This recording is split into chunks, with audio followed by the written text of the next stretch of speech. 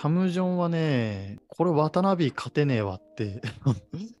思ったシーンが今日もあって、で、渡辺が勝てないんだったらフィニー・スミスもきっと勝てないんだろうなっていう。個人的にはキャム・ジョンの方が、あの、オフェンスでできることは多くて、キャム・ジョンがシューターなのはシューターなんだけど、なんかこう、視野の広さというか、判断能力というか、さすがクリス・ポールと一緒にやってただけあるなっていう。まあ、いろいろクリポから教わったのか知らんけど、キャム・ジョンは 3&D の中でも1個頭抜けてるなって思ったシーンがあって、ちょっと一回ルビオの見ようかな。俺、このパスできる人すっげえ評価してるんよ。なんかパスするときにボールを持っちゃいけないみたいな風潮あるじゃん。ドリブルを止めちゃいけないって。ガードだったらドリブルし続けた状態で片手でパスが出せるようにしましょうみたいなのってよく言われると思うんだけど、俺むしろこの両手でパス、ボールを、ドリブルを止めてでもいいから、この止めた状態で両手でパス出せるかどうかってすごい、まあ、パサーとして評価すべき一つの指標だと思ってるね。だルビオもこれやれてるし、他、ジャモラントとかもそうかな。ジャもう、ドリブル止めて、両手でパスしてるの、えー、わかるかな？ここで止めて、両手でパスしてるでしょ？これもそうかな？これも止めてからパス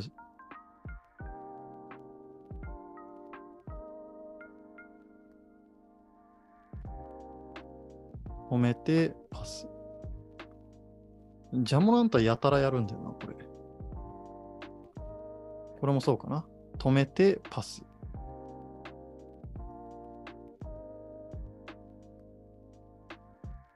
ここで止めて、パス。で、当然、ドンチッチもやりますね。ドンチッチもピック使って止めて、パス。で、これはあの、プレシーズンの、え、90、なんだっけ ?96ers だっけ？なんだっけ？あの、サンズがプレシーズンでフルボッコされた試合。一番最初の試合かな？その時のポイントガード。ごめん、誰か全然わからないんだけど、そのポイントガードでも止めてパス。片手じゃないんだよね。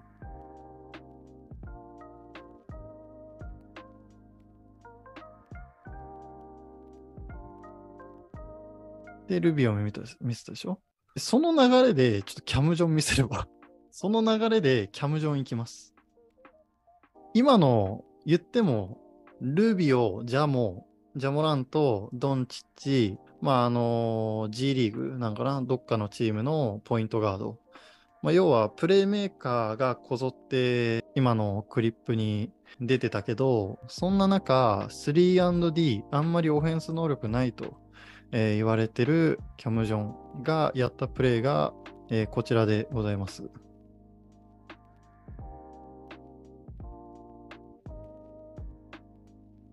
はい。えー、わかりますでしょうか？彼もハンドオフでボールもらった後にドリブルを止めて、えー、クラクストンにパスを供給してバスケットカウントを演出。で、俺、これをキャム・ジョンがやってる姿を見て、あー、無理だと思って。キャム・ジョン超えるのは相当ハードル高えぞって、一緒なんですよ、やってることが。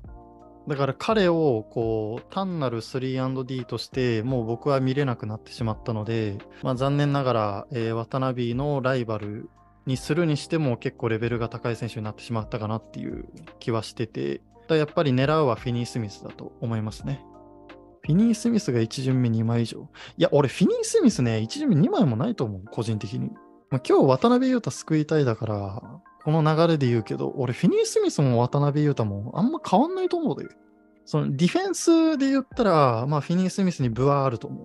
渡辺よりもフィニー・スミスに分はあると思うけど、ただ渡辺もディフェンスがうまいっていうので、ね、ここまで生き残れてるのも間違いないから、俺今のフィニー・スミスが1巡目2枚以上の価値あるとは思わないんだよな。フィニー・スミスに2枚出すチームあったらしいよ。じゃあそのチームは、あの、シンプルに負けトレードでさ。僕の、あれからするとね、出しすぎです。過大評価してますわ。分かりやすいように1枚2枚って言ってるけど、まあその指名権にプロテクトかけるかどうかで全然価値は変わってくるから、からフィニー・スミスに2枚出すっていうチームが仮にあったとしても、その2枚は別にノンプロじゃなくて、めちゃめちゃプロテクトのガッチガチにかかった指名権かもしれんし、それだったら別に2枚出してもいいかなと思うけど、フィジカルはフィニー・スミス、シューティングは渡辺。えっ、ー、とね、じゃあちょっと話をガラッと変えて、あの、また一個ね、僕作ってきました。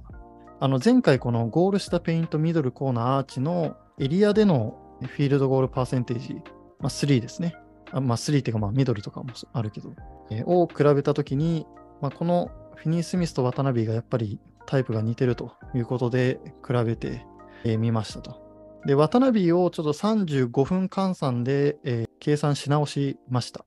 まあ17分ぐらいしか出てなかったので、まあちょっとフェアじゃないと思い、まあそれでもちょっとばらつきはあるだろうけど、まあ大雑把にね、こっちの方が見やすいかなと思いましたので、35分換算にして、えー、フィニー・スミスと比べると、えー、ゴール下のシュート本数は渡辺が2.6本、えー、フィニー・スミス1.8本、確率は渡辺が67.9%、フィニー・スミスが66.7%、渡辺の方がざっと、ざっくり計算すると高いですね。で、ペイントエリア内も渡辺が0.8本、フィニス・ミス0.4本、確率が渡辺31%、フィニス・ミスが17%。で、ミドルシュートが渡辺0.6本、41%、フィニス・ミス0.2本、28%。コーナー3、渡辺が2.6本、確率57%、フィニス・ミス2.3本、確率41%。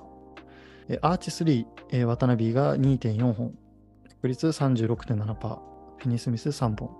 確率31.7%と。で、これに加えてもう一つ今日用意してまして、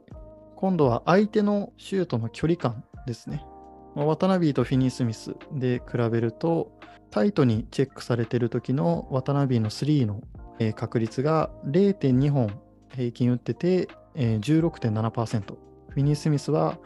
0.1本平均打ってて、まあ、まだ1本も決めれてないと。で、オープンで2フィートから4フィート離れてる状態でのスリーポイントは1.6本打って、確率が37.8%。フィニ・スミスが0.9本打って35%。で、6フィート以上離れたワイドオープンでのスリーの確率が、えー、本数3本、確率56.9%。えー、フィニー・スミス4.3本、確率36%と。いうことで、まあ、やっぱりこれだけ見ても、俺は1巡目2枚の価値がフィニー・スミスにあるとはちょっとあまり思えないっていう感じですね。ちょっとオフェンスでできることがフィニー・スミスはマジで少なすぎると思います。で、俺、マーカネンがやっぱ、渡辺じゃなくてマーカネンがこう、えー、スリーポイントコンテストに選ばれたっていうのもあって、一応こう、計算、計算っていうか、まあ、スタッツをね、出してみたんだけど、やっぱりちょっとレベチだったな。普通にオープンの33.4本。キャム・ジョン・ミカル、渡辺、フィニー・スミスよりも全然ダントツで多くて。で、確率も40%決めてるからね。まあ、ミカルも40%決めてるけど、まあ、本数マーカネの方が多いのに40%キープしてる。で、ワイドオープン。ワイドオープンはマーカネン若干少ない。キャム・ジョンとかフィニー・スミスの方が多いけど、まあ、それでも確率で言ったらね、45%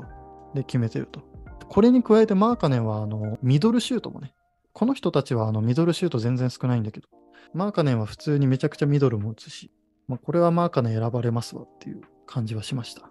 ただ人気があるだけとかじゃなくてね。まあ、マーカネンも4番ポジションの選手で言うと、渡辺、フィニー・スミス、ブリッジスと同じような、まあ、若干タイプは違うけど、まあ、ポジションで言ったら近いものがあるので、まあ、比べる参考にはなるのかなと思います。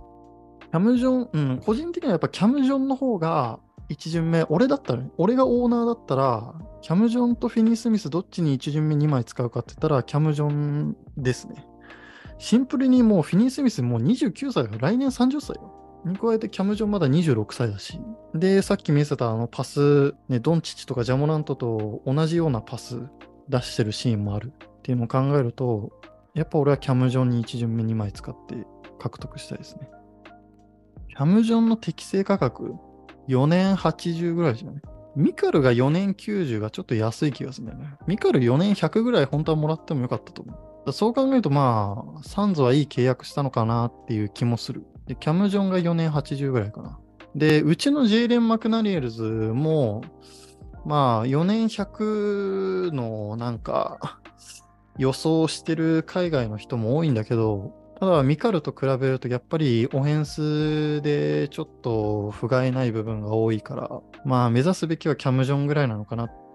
ていう気はしますね。だから4年80が個人的には理想。で、ジェイレン・マクダニエルズを4年80でキープすることができれば、まあ、初年度22だったところがまあ17ぐらいで済むから、まあ、5ミリオンぐらい2年後浮くんだよね。ってなると、まあ、またちょっとえー、いろいろと、えー、話が変わってくる。例えばマイク・コンリーとまた再契約して、まあ、安い金額でコンリーをキープするっていう、えー、パターンもあったけど、まあ、5ミリオンマクダニエズが浮くんだったらその分をこうもっといいガードに、えー、回してお金をかけるみたいなムーブもできるようになるから、まあ、マクダニが適正いくらなのかっていう、いくらもらえるかっていうのは結構、まあ、ウルブズ目線だとかなり大事ですね。ネッツにナズリードね、悪くないんじゃないですか？まあ、悪くないけど、クラクストンを控えにしてナズリードがスタメンってなると、ナズリードってセンターよりはパワーフォワード気質だから、そうするとクラクストンの方がスタメンは向いてるなっていう気はするね。ただ、ナズリードがベンチ、ベンチ起用のチームに行きたがるかっていうところあるからね、難しいんじゃないですか。ナズリードはなんか他のチームに行きそうな気がする。